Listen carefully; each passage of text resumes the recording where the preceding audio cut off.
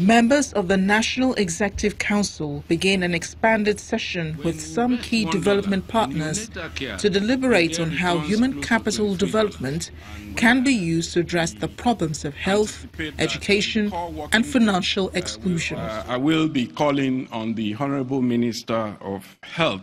The expanded session begins with the Health Minister sending a distress call for urgent intervention to rescue the ailing health sector. One of the major reasons why the health sector has underdelivered has to do with the level of funding of the health sector. When compared to many other countries, we have persistently over the years underfunded the health sector. And because of this chronic underfunding, the health sector has under, underperformed. So investing in health is a win-win for everybody. With a strong appeal for increased investment in health, the next agenda is a case for the education sector. The Minister of Education insists that increased budgetary allocation to schools holds the key to Nigeria's economic future. Education is today recognized as the major currency by which nations maintain economic prosperity. Therefore, this nation must make conscious effort to multiply what we allocate to education every year. While pledging the support of the country's economy and growing population, Nigeria's development partners prescribe a practical agenda to chart the way forward. We're eager to support you as you work to make Nigeria a global economic powerhouse that provides opportunity for all its citizens. The most important choice you can make is to maximize your greatest resource, the Nigerian people. Nigeria will thrive when every Nigerian is able to thrive. If you invest in their health, education, and opportunities, the human capital that we're talking about today, then that will lay the foundation for sustained prosperity. In Nigeria, we have largely achieved growth by extracting natural resources and are now building on that through our physical infrastructure. But we must also remember that it is our young people that will drive our future success. The Vice President, in his address, offers assurances of the federal government's determination to address Nigeria's economic challenges with the Economic Recovery and Growth Plan. This social investment program, which is a key component of our economic recovery and growth plan, is possibly the most ambitious in Nigeria's history. It aims to ensure ultimately that no one is left behind and that Nigeria's wealth is more equitably distributed to its vulnerable populations, the young and old, male and female, regardless of where in the country they live or what language they speak. The action plan is set. The next move will be to walk the talk with the financial inclusion plans, especially in the areas of health and education. Designed to assist young girls well, joining us right now to shed a bit more light on what that NEC expanded session seeks to achieve is, the, is Mr. Laolu Akande, who is Senior Special Assistant on Media and Publicity to the President in the Office of the Vice President. Mr. Akande, you're welcome to Sunrise Daily. Thank you for having me. Good morning. Good morning. So I was just wondering, you know, why did we have to have this expanded NEC uh, meeting with donor partners? Why was it important to host it?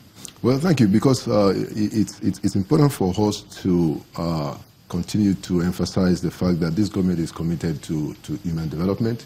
It's the reason why uh, the Buhari administration laid out what is uh, perhaps the largest uh, spending for, for social welfare in the social investment program, uh, which we have done for two budgets. We've done, we, have proposed it for the third budget, the highest time or highest plan in terms of how much we are planning to spend on social investment. It is because we, we, we, understand that the Nigerian people are the ones that will take Nigeria uh, to where Nigeria has to go. So uh, we, we, we, are interested in talking with, with our friends, with development partners, we're talking among ourselves uh, uh, uh, and, and having a conversation on, on, on what we are doing and how we can do what we are doing better and faster. Mm. Interestingly, the ministers of health and education spoke first at that meeting. One got a sense, I mean, I like the frankness of the minister of health, for instance. He talked about how the healthcare sector has failed Nigerians. It has consistently under-delivered to Nigerians. And then one will have to ask, if the current Minister of Health uh, who has spent at least two years on the saddle right now. We're still talking about how the healthcare sector has failed Nigerians over a couple of years and doesn't look like it's getting any better because it's talking about underfunding.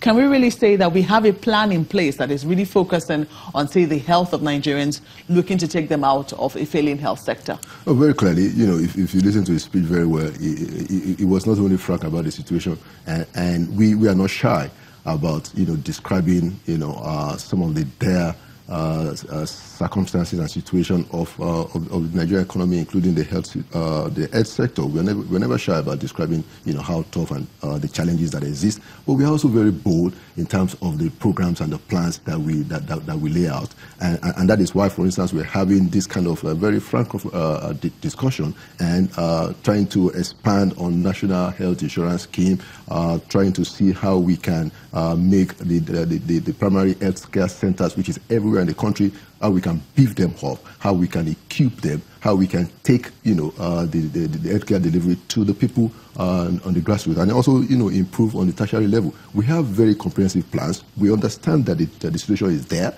and we are not, you know, uh, we, we, we are not trying to cover that up. It is, it is open for everybody to see, but we have very solid plans to address them. And it will take some time. Mr. Akande, you know, uh, the World Health Organization has now ranked Nigeria 187th out of 191 in uh, healthcare uh, service delivery. And, you know, when we take a look at the 2018 budget proposal, for example, because in many ways it mirrors 2016 and 2017, we see that less than 5% uh, is allocated to the health sector. Out of about 300 billion, 264 is recurrent, and about 70, I believe, is capital. And even of that 70 billion, we don't know how much of that will actually be released by the Ministry of Finance. So clearly underfunding is an issue. How is that being addressed? Because clearly even in this budget, there's nothing that shows any promise in that area. Part of the problem in terms of the, the way we analyze some of this spending is that uh, everybody is just focused on what only the federal government is doing. Uh, we forget that this is a federation, you know, uh, and, and, states also do have, you know, uh, constitutional responsibilities in this matter, including health. And so uh, when we do this analysis, we forget to include, you know, the, the, the, the, the spendings, the, the, the budgetary uh, planning in the states. You know, now I'm, I'm, not saying that we are spending as much as we ought to, but we, we, we have that oversight. People just think it's only the federal government spending that we're talking about. It's important to look at what is happening in the states in, in, in trying to come up with a picture. But that's that's just the first point. Secondly, uh, uh, we, we recognize that, uh, yes, we need to increase the spending, but more importantly, we are saying that we have to engage the private sector, even in the area of health. We have to, government has to increase its own spending, sure, but in terms of how we address the entire Nigerian situation, it's important for us to note that we have to uh, uh, encourage the, uh, the, the, the, private sector. We have to ensure that the, the, money that exists outside of government, which is the bigger part of the money, we are talking about the $97 trillion